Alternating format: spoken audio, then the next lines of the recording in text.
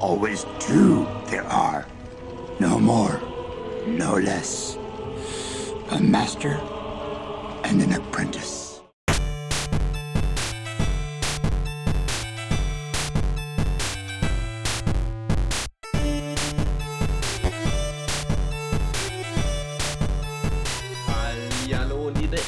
Community. Hier ist der gute Darth Bane und ich bin hier mit einem neuen Projekt.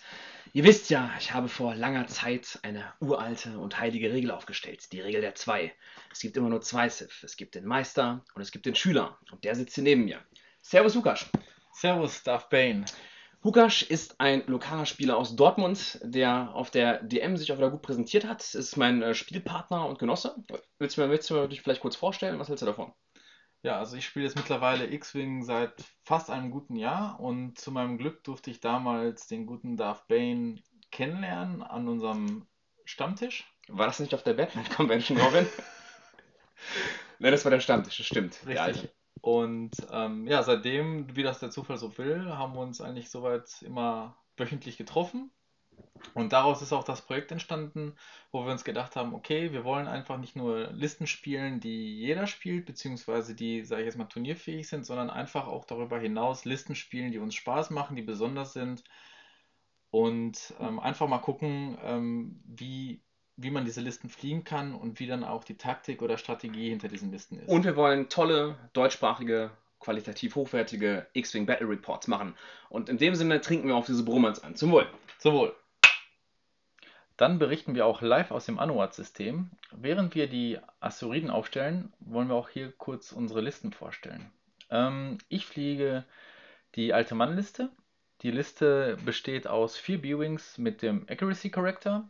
Die Liste ist mir zugeflogen aus dem Nova Squadron Podcast, wo ähm, die dort der Sean Dorsey vorgestellt hat bzw. geflogen hat. Die Liste ist entstanden eigentlich aus der typischen äh, 4Bs plus Z-Liste.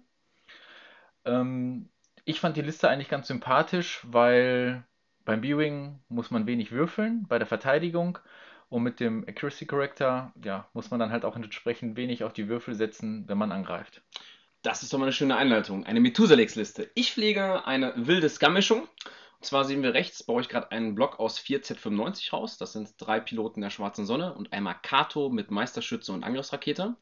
Habe ich genommen, weil ich jetzt ein bisschen wieder mehr Masse erwartet habe, unter anderem die Rebel Control Builds. Und fliege noch den Scissor dazu. Das ist eine der Listen, die ich auch in einer unserer Episoden des Podcasts vorgestellt habe. Scissor mit Veteraneninstinkte, verbesserten Sensoren, Autothrusters, dem Virago-Titel und den Trägheitsdämpfern. Normalerweise würde ich sagen, kann man Scissor übrigens, sollte man ihn auch mit dem Schwarm zusammenfliegen lassen oder dem Miniswarm. Aber bei deiner Liste habe ich mir gedacht, äh, will ich doch ein kleines Flankelement dabei haben, weil du natürlich ein sehr starkes Tjost-Element hast und habe Scissor deswegen, wie man da oben rechts sieht, in die Flanke aufgestellt. Gut. Also ich fange, ähm, ich muss ja zuerst aufstellen und ähm, habe dann äh, unten rechts in der Ecke angefangen ähm, und taste mich jetzt erstmal mit äh, einem ganz leichten Schritt nach vorne erstmal vor, um zu schauen, wie fliegst du eigentlich mit deinem Schwarm. Genau, und dasselbe dachte ich mir, ich will noch nicht einschwenken, weil Scissor muss mich auf jeden Fall unterstützen, weil du hast, ich muss, ich muss es schaffen, mein Ziel ist es, einen möglichst starken Alpha-Strike zu setzen, indem ich es schaffe, möglichst einen B-Wing unter Umständen schon wegzuschießen, was mit fünf Schiffen, die vor ihm schießen, vielleicht machbar ist. Aber mal schauen.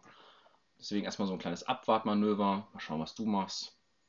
Hier auch schön zu sehen, wie man Advanced Sensors boostet. Genau. Also da sieht man ja halt auch, äh, wie du den Flanker jetzt einsetzt. Mhm. Ähm, ja, für mich war jetzt an der Stelle zu überlegen, okay, was ist denn jetzt mein Primärziel? Ich wusste halt, sage ich jetzt mal, in der Ecke unten rechts habe ich natürlich Probleme, ähm, relativ schnell zu Xizor zu kommen. Also ging es halt erstmal langsam wieder vorwärts, weil mein Ziel war an der Stelle jetzt erstmal, dass wir schauen, okay, wo fliegt jetzt der Schwarm hin, weil das für mich, sage ich jetzt mal, an, zu dem Zeitpunkt das Primärziel ist. Ja, und ich muss gucken, wann schwenke ich ein, weil ich will in Formation bleiben. Und dieser Asteroid stört mich. Aber erstmal sehe ich da, wie du da ein kleines Ballett tanzt mit den Bs. Genau. Ich habe da ja relativ viel Glück, weil auf der Seite sind eigentlich relativ wenig Asteroiden. Ja. Dadurch habe ich die Möglichkeit, mit den Barrel Rolls relativ weit nach rechts zu kommen, um halt einfach, sage ich jetzt mal, wenn du äh, mit deinem Schwarm irgendwann mal zur Mitte hin einschwenkst, dass ich in einer guten Position bin, ähm, mit einer sanften äh, Kehre dann halt dich in einem Schusswinkel zu bekommen. Wir wissen, dass du tanzen kannst. Das musst du gar nicht Ja. erklären. Das ist doch, ist doch bekannt. Ist doch der schnellste Tänzer hier. Der schnellste Tänzer mit dem schönsten Kleidchen. Ja, das äh, wollte ich jetzt der Nachwelt nicht sagen, aber wenn das der Fall ist, zum Wohl. Ja, du rollst mal fertig da. Genau. So, und ich fliege jetzt, wie gesagt, muss den dem Asti da vorbeikommen. Fliege trotzdem langsam, weil ich habe alle Zeit der Welt. Scissor ist noch nicht in Position, deswegen das Wichtigste bei X-Wing auch immer mit, wann fängt man den Kampf mit dem Feind an. Und wenn der Gegner mit all seinen Schiffen angreifen kann und man, man selber nicht mit all seinen Schiffen angreifen kann, ist das immer ein Nachteil, wenn man einfach weniger Punkte dann hat, die gegeneinander kämpfen, nicht wahr? Ja, und für mich war das jetzt, hatte ich zuerst die Hoffnung, dass du jetzt schon an, einschwenkst da an der Stelle. So dass ich dann halt weiß, okay, in Runde, in der nächsten Runde oder zumindest in der darauffolgenden Runde kann ich mich mit dem äh, B-Wing-Schwarm so positionieren, dass ich dich mit allen vier, äh, vier Ligern im, äh, im, Voll, im Feuerwinkel habe, genau. Hier gehst du ja zwei nach vorne. Richtig, weil ich ja jetzt weiß, okay, du schwenkst jetzt, du müsstest jetzt einschwenken. So, jetzt natürlich auch wieder die Barrel Roll, einfach um zu sagen, okay, ich äh, habe meinen äh, Feuerwinkel, weil wenn du jetzt einschwenkst, so weit fliegst du ja doch nicht in die Mitte rein. Mhm. Also streue ich da an der Stelle. Mhm. Ähm, Und du willst natürlich auch dem Asteroiden auf der anderen Seite, du, der stört ja deine Formation etwas. Die ist natürlich auch eine sehr enge Formation, ne? das ist richtig. Und dann Genau. tanzt da wieder der Bube. Zwei nach vorne. Das ist übrigens die FFG-Matte, auf der wir spielen. Hast damit auch bisher gut, ganz gute Erfahrungen gemacht, ne?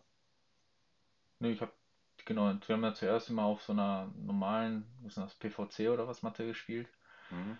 Und als die ähm, FFG-Matten rausgekommen sind, haben wir die ja auch in der, äh, am Stammtisch gesehen. Mhm. Und einfach von der Haptik her fand ich die einfach toll. An dieser Stelle eine kurze Werbeanmeldung. Kommt zum Stammtisch Bochum. Da habt ihr ganz viel Spaß. So, hier wird eingedreht. Genau. Die Formation bleibt. Äh, der gute Kato ist übrigens hinten. Ich habe übrigens hier mich für, also es sind Kampfpiloten der Schwarzen Sonne vielleicht nochmal zum Sagen, äh, das hatte ich gerade schon erwähnt. Es ist sehr wichtig, äh, finde ich. PS3 ist momentan wieder sehr interessant und nützlich, weil man vor vielen Zweiern schießt, wie so ein B-Wing Swarm eben. Das ist schon ein gewisser Vorteil. Hier checke ich natürlich den Target-Block mit Kato. Nicht der Fall, also der Alibi-Fokus. Und auch der gute Scissor bringt sich für seinen Flankenangriff in Stellung.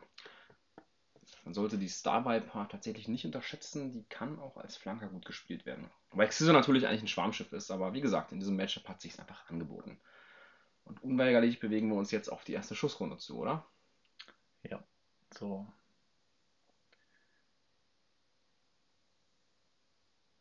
Einmal noch kontrolliert. So, jetzt will ich natürlich nicht so weit nach vorne fliegen, weil ich ja auch weiß, äh, in der nächsten Runde, also jetzt in dieser Runde Shepherds. Und ähm, ich weiß halt, dass du jetzt mit deinen Angriffsraketen schießt, also kriege ich definitiv was ab. Ähm, Ja gut, du hättest deine Formation ja theoretisch noch aufbrechen können mit Fassrollen. Das hast du jetzt nicht gemacht. Das stimmt, wobei an der Stelle zumindest die B-Wings, die relativ außen sind, da hätte ich dich äh, nicht mehr im Feuerwinkel gehabt. Da Mhm. hätte ich eventuell, sage ich jetzt mal, auch ein anderes Manöver fliegen müssen an der Stelle. Mhm. Äh, Und du hast gedacht, du hast eh genug. Hitpoints. Der eine Hitpoint. Genau, cares? richtig. Who cares? Richtig. So, und dann äh, ging es halt auch darum, dass ich jetzt in der Runde gesagt habe, okay, äh, kriege ich halt ein bisschen Schaden ab, der sich dann natürlich auch verteilt, aber ich will definitiv ein Schiff von dir in der Runde runternehmen, runterschießen. Mhm. Wobei es für mich jetzt noch wichtiger ist, wie gesagt, ich brauche einen guten Alpha Strike, weil äh, das äh, Game der Durability, also der, der Ausdauer, verliere ich natürlich gegen 4 B-Wings. Hier wird eingeschränkt mit leichten Einsern. Die Jungs fokussieren natürlich. Und da kommt Kato. Das passt übrigens alles perfekt. Und Kato macht natürlich jetzt eine Zielerfassung für seine Rakete. Auf den linken B-Wing. Warum der linke? Ganz einfach, weil ich äh, jetzt einen Flankenmanöver mache. Advanced Sensors Boost. Hier sehr schön um den, um den, äh, das, das, äh, die, äh, den Trümmerwolke komme und in einer sehr schönen Position stehe. Dann geht's los mit dem Beschuss, würde ich sagen, oder? Wie fühlst du dich da gerade? Ja, ich bin relativ ein bisschen in der Zange, Mhm. aber gut. Gerade halt, sag ich jetzt mal, der B-Wing, der links außen steht, da weiß ich, ja, der kriegt jetzt ein paar Schüsse ab. Ja, hier übrigens noch die Fähigkeit von, von Kato. Der gibt seinen Fokus aus, schießt die Rakete via Fokus ab. Und schießt natürlich auch auf das Ziel. Ich gucke nochmal, weil ich mir noch nicht ganz sicher bin, sind alle in 1, aber doch. Und da geht die Rakete ab. Es sind aktuell nur zwei Treffer. Ich überlege, ob ich das Target Lock ausgebe oder nicht. Entscheide mich dann aber um. Zack.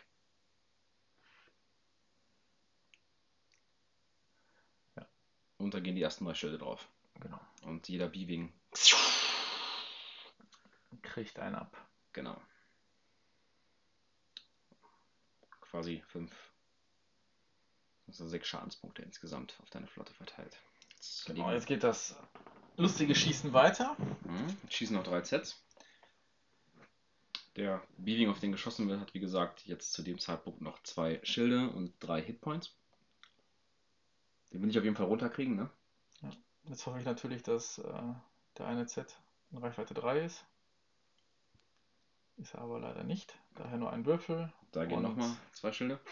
ein Blank. Mhm. So, zwei Z schießen noch. Da geht die erste Hülle auf den B-Wing nieder. Und der letzte trifft natürlich nicht. Glück gehabt.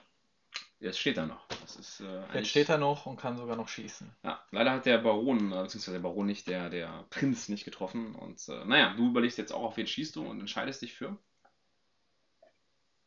So, ich gucke natürlich jetzt, welcher jetzt in der besten Reichweite ist, also sprich in der Zweier-Reichweite, dass ich die noch kriege. Ja, das So. erste Schildflöten. Genau. Dann gucke ich mit dem hinteren, ob der noch in Reichweite 2 ist. Drei Würfel, Accuracy Corrector oder Fokus. Zwei Schadenspunkte. Ja, der Z ist so gut wie nicht dabei drauf zu gehen. So, dann schießt der dritte im Bunde. Reichweite 2. Da sieht man wieder den guten Gebrauch von Accuracy Corrector und First Blood. Da geht der erste Z drauf. Ah, So, so weit, so gut ist der Plan erstmal aufgegangen. Der letzte so. Schuss von dir. Zwei Treffer, oder? Mhm. Aber Doppelfokus und da bleibe ich nochmal vor Schaden verschont. So, jetzt kommt eine spannende Runde. Genau, so für mich ist jetzt die Frage: Xizor, die Sau von links und die Zs von vorne. Ähm, und dadurch, dass ich jetzt mit vier Schiffen relativ äh, mich breit aufstellen kann, ähm, habe ich natürlich die Hoffnung, dass äh, Xizor an einem B-Wing kleben bleibt und äh, die restlichen B-Wings sozusagen Xizor dann runternehmen können. So, an der Stelle habe ich aber natürlich auch vergessen, äh, Advanced Sensors oder die Fähigkeiten, die tollen Fähigkeiten von den Advanced Sensors, ähm, dass ja Xizor jetzt erstmal auch seine Aktion vorher nehmen kann. So, also schwenke ich jetzt mit allen äh, stark ein und ähm, versuche dann einfach ähm, Xizor die äh, Bahn einfach zuzumachen. Du gehst schon sehr aggressiv auf Saison, ne? Da ist dann auch ein bisschen so die Gier dabei gewesen, zu sagen, okay, der ist jetzt so nah dran. Er ist natürlich auch 40 Punkte wert, ne? Also Richtig. da kann man schon ordentlich Punkte machen, ne? Das muss man natürlich auch zu dem sagen.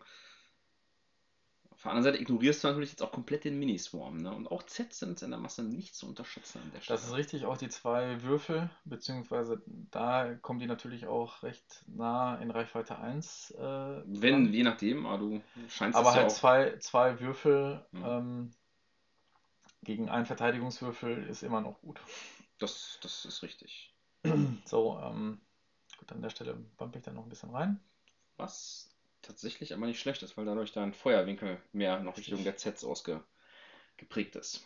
Ja, ich meine natürlich das äh, klassische Ich gehe mal eins nach vorne Manöver und guck mal, was der Gegner macht. Ja, finde ich jetzt gut, ne? Und hier, mir fehlt, also ich, ich muss auf jeden Fall ausgleichen, weil aktuell habe ich äh, einen eklatanten Firepower-Nachteil.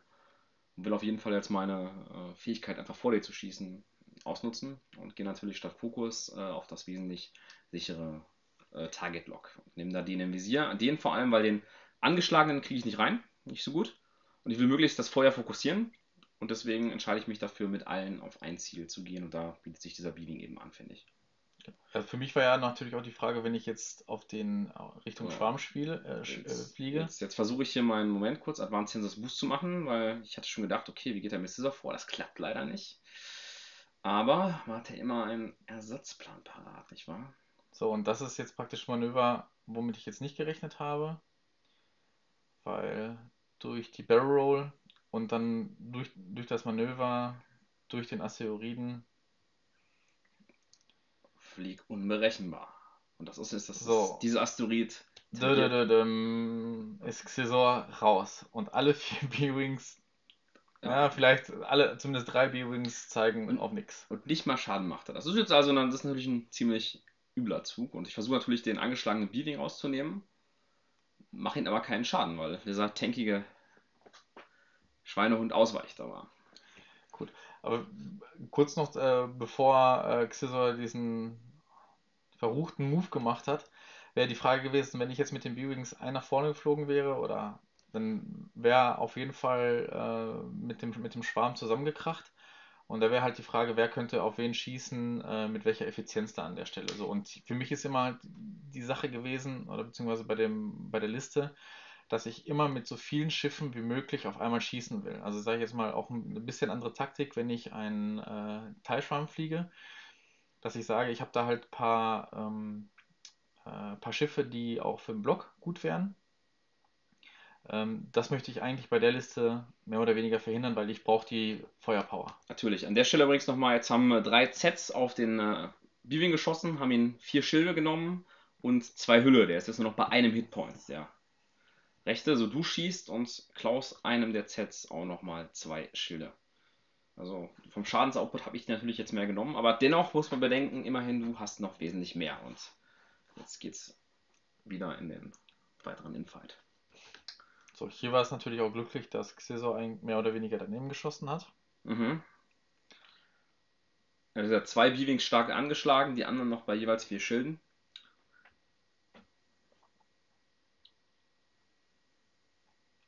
Wie schaut es bei den Sets aus? Äh, der eine ist quasi ja, hat äh, noch zwei Hülle und die anderen sind unverletzt. Also okay. beziehungsweise Kato und der 44er. Und Xizor auch noch unverletzt. Klar. Auf den wurde ja, leider nicht geschossen. Leider. Leider, leider. Hier nochmal ein letztes Abwarten, ein letztes Kontrollieren. Ist ein, ist ein kritischer Zug natürlich. Es gibt bei X-Wing immer die Phasen, also neben das ist so die, um das mal kurz so ein bisschen äh, zu fachsimpeln, es gibt so den, den Alpha Strike bzw. die Early Phase, es gibt das Late Game und das ist jetzt eine der kritischen Phasen, weil jetzt sind die Manöver extrem wichtig und können eigentlich viel über den Spielverlauf, sage ich mal, aussagen. Ohne dass eine Seite jetzt groß im Vorteil eigentlich wäre oder im Nachteil wäre. Jetzt, jetzt auf die Bewegung kommt es an, was machen die Schiffe, deswegen ist es schon mal gut, wenn man da ein bisschen überlegt. Denn das könnte jetzt äh, das Ende vom Anfang und umgekehrt sein. Scharfe 1. Bewegung, die man beim Beaving eigentlich gar nicht so erwartet, natürlich, ne? Das ist ja das Schöne bei der Liste mit dem Accuracy Corrector kann ich ja äh, Manöver fliegen, ähm, wo ich jetzt nicht zwingend auf die Aktion angewiesen bin. So, hier ist natürlich auch die Sache gewesen, ähm, warum ich so lange überlegt habe, dass der berühmt-berüchtigte Zweier K-Turn ähm, so nicht bei den, in, so wie ich jetzt aufgestellt war, eigentlich nicht funktioniert hätte. Also entweder wäre ich auf dem Asti geflogen oder wäre in mich reingebammt. Also musste ich mir was überlegen, wie komme ich dann halt rum.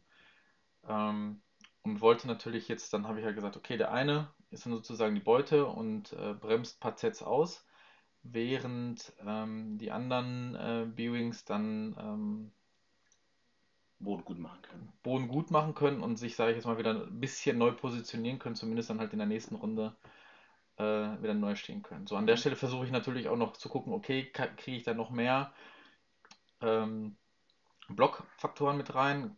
Gucken, gucken, hoffen. Mhm. Und der, der zu blocken ist, der hat ja nur noch einen Point, also vielleicht keine schlechte Entscheidung. Ne? Also der quasi jetzt mit dem Stress da steht und auch der da links oben steht, die sind ja die, die quasi am meisten, äh, also der ohne Fokus, die jetzt die beschädigsten eigentlich sind. Die anderen sind ja noch fast heile. Der eine Schild, mein Gott, das kratzt den Beving ja nicht groß an, ne? Genau. So. Ich wusste nicht, ob ich K-turn soll, weil ich eigentlich Angst hatte, dass der Winkel nicht stimmt und versuche da auch scharf einzudrehen. Ich wollte auch gerne mit Aktion reinkommen. Jetzt passt das Manöver natürlich nicht und ich bleibe da blöd zwischen den äh, B-Wings hängen. Aber gut, trotzdem eigentlich nur eine ordentliche Position. Auch wenn ich natürlich nicht wieder auf die angeschlagenen B-Wings schießen kann mit diesem Set. Doch der äh, bleibt hängen.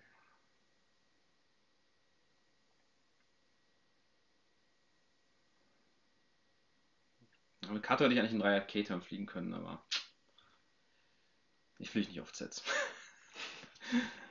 so, jetzt äh, der gute Baron. Ist eigentlich relativ leicht. Der Prinz. Der Prinz, ja, Prinz Baron, adelig ist adelig, meine Jüte. Und äh, ja, auf ihn kann keiner schießen. Äh, deswegen, ich will jetzt endlich diesen ollen äh, Beaving erwischen. Und entscheide mich da für eine Zielerfassung. Der hat noch zwei Hitpoints wohlgemerkt. Zwei Hitpoints, aber drei gegen eins, da muss doch was drin sein, denke ich mir. Aber der Baron hat äh, sein Zielwasser leider verspielt, beziehungsweise zwei Treffer, ne? Aber der gute, äh, tankige Bieben weicht aus, überlebt mit einer Hülle. Das war der Olle Baron.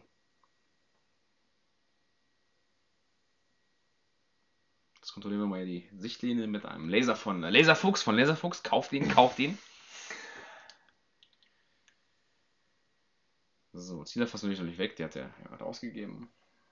Es ist nicht so eine tolle Position, vor allem diese Beatings, die da jedem meiner Schüsse standhalten. Gut, immerhin bist du in einer Position, wo du schießen kannst. Ich bin ja so ein bisschen außen vor an der Stelle. Ja, das äh, muss man fairerweise dazu sagen, Robin. Vielen Dank. Gerne, Batman.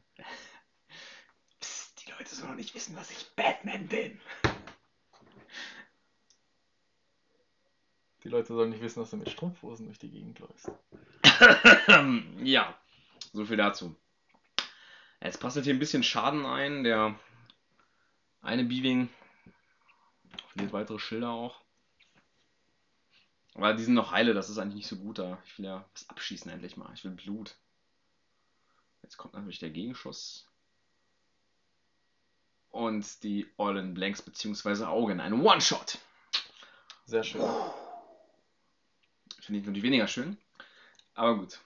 Wer dem Prinz dient, muss für den Prinz sterben.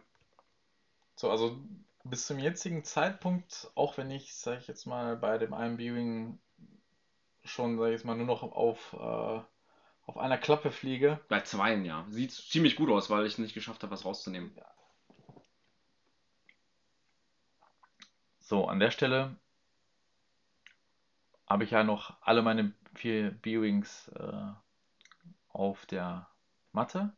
Soweit, so gut. Der eine hat natürlich nur, nur noch eine ähm, Hülle. Der andere ja auch zwei. Der andere zwei, wobei der mit der Hülle natürlich jetzt auch noch seinen Stress hat.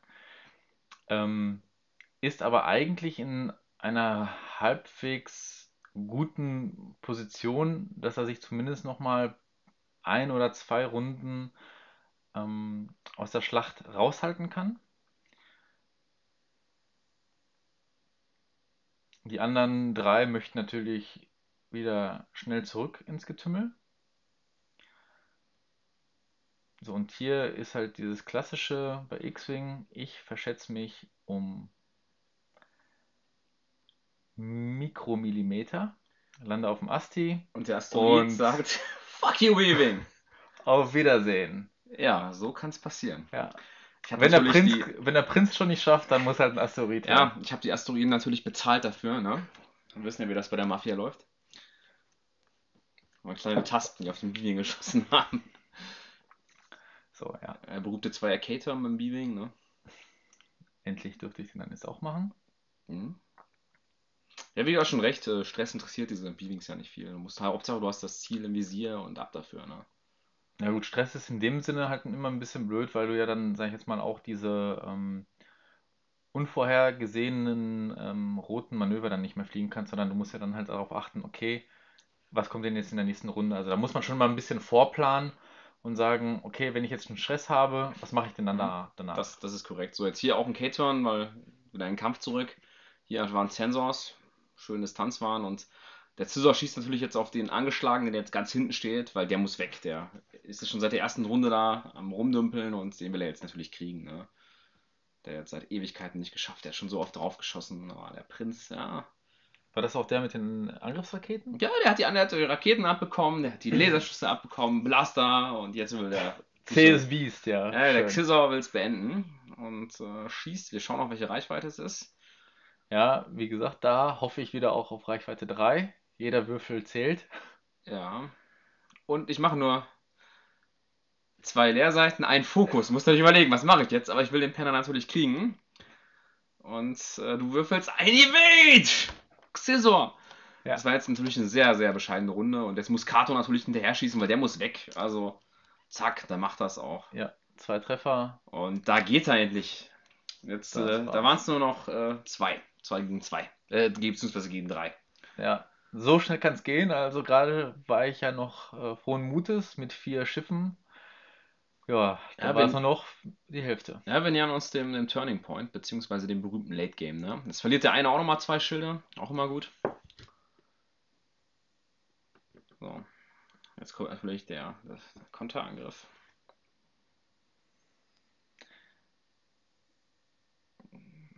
Setzt den Korrektor ein. Ich verliere nur ein Schild. Alles gut. Das ist gut für mich. Dass er leider noch ein Beaving auf Reichweite einschießen kann. Ein Traumwurf und WCT nicht. Und da ist das Ende eines berühmten Helden der schwarzen Sonne in Absicht. Ich ziehe die Karten, drehe die Pilotenkarte um und verabschiede diesen Piloten in ein eisern, eisernes und eisiges Grab im All. Ach ja. Ja, zum Glück sieht man mein gehässiges, großes Grinsen jetzt gerade nicht. Ach, dein gehässiges großes Grinsen. So, so. Ja, GGG. Ähm, aber nee, so bin ich jetzt erstmal wieder zufrieden, weil ich dann sozusagen mehr oder weniger die Verhältnisse wiederhergestellt habe. Mhm. Ja, wir nähern, es ist, durch, ist super ausgeglichen. Also wir nähern uns jetzt vor allem dem, dem Late Game. Ne? Wer hat noch die letzten Schiffe? Wobei ich sehr froh bin, dass Scissor noch da ist, weil Scissor natürlich mein teuerstes Schiff ist. Du hast, zum Beispiel, du hast jetzt noch 50 Punkte auf dem Feld und ich habe circa 53 Punkte auf dem Feld. Also wirklich ausgeglichen. So. Also was ich auch bei dem Spiel aber auch konsequent ähm, ignoriert habe, Die Oder- Tatsache, dass du mit Batman spielst. ähm, dass ich da auch Strumpfhosen trage. Nein, ähm, Ja, das, dass an der Stelle ähm, ich von Scissor den, ähm, die Advanced Sensors immer vergesse. Die verbesserten Also Sensoren, ja? Ja. Die sind, also ist ja, die Star Viper kriegt ja einen Sensorslot auch nur über. Ähm, Den Virago-Titel. korrekt. Der muss natürlich sein, das ist ja die Virago, ist ja das persönliche Schiff vom, Maro, äh, vom, vom Prinzen, meine Güte, dieser Adelstitel. So, hier fliege ich tatsächlich nur eine sanfte 1. Lass mal gucken, wo du hin wolltest. Behalte meinen Stress dementsprechend. Tja, dann natürlich Advanced Sensors und mein liebstes Manöver. Senior Loop, wie der gute neue deutsche Meister Federico an dieser Stelle schöne Grüße an ihn sagen würde. Das ist ein tolles Manöver.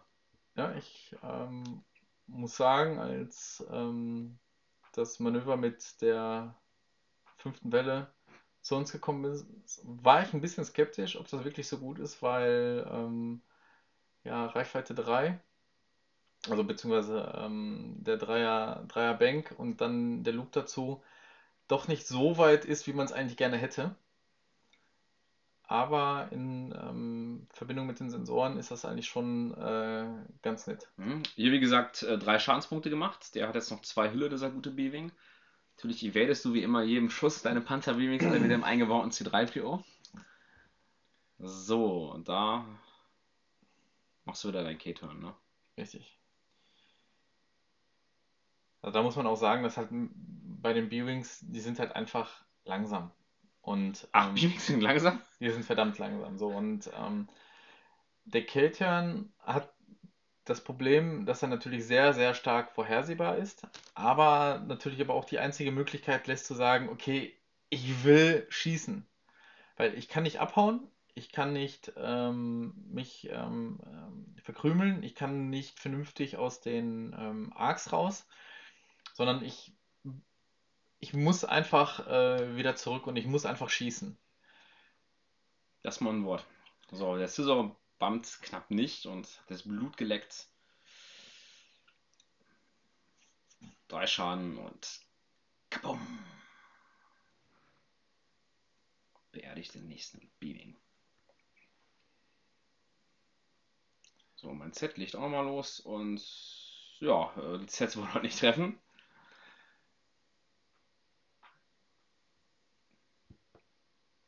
Herr überlegt, auf wen er schießt. Das sieht man immer an dem Finger, der nervös Ja, auf und ab tippt. Xavier hat noch seinen Fokus.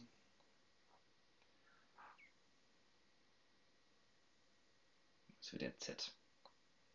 genau. Ja, der sich dann auch direkt verabschiedet. Ich meine, das ist ja auch eigentlich ganz schön ähm, an einem X-Wing-Spiel, dass man an keiner Stelle eigentlich aufgeben soll, Da sondern halt nicht, ähm, man, man, auch wenn man halt das Gefühl hat, oh mein Gott, jetzt ist es eigentlich vorbei, man immer eigentlich jetzt mit die Möglichkeit hat, zurückzuschlagen oder beziehungsweise auch zurückzukommen. So, und jetzt haben wir natürlich jetzt wirklich im Late-Late-Game ähm, das 1 gegen 1 Spiel. Ich weiß nicht, der B-Wing hat noch wie viele ähm, Health Points? Der hat noch drei Schilde. Drei Schilde. Drei Schilde hat er. Ja, ich mache eine Zielerfassung, weil ich werde nicht beschossen. Also schön Looping gelegt und zack. Macht wieder so ein bisschen Schaden, denke ich. Ja. Ja. Weitere Schilde gehen runter.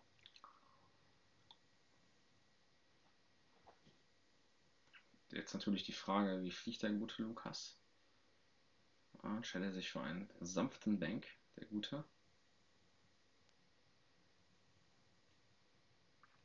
Eine Fassrolle. So, weil ich ja natürlich an der Stelle hoffe, dass du. Stehe im Lives dank der Trägheitsdämpfer und mir jetzt einen schönen Reichweite Einschuss äh, gewähren.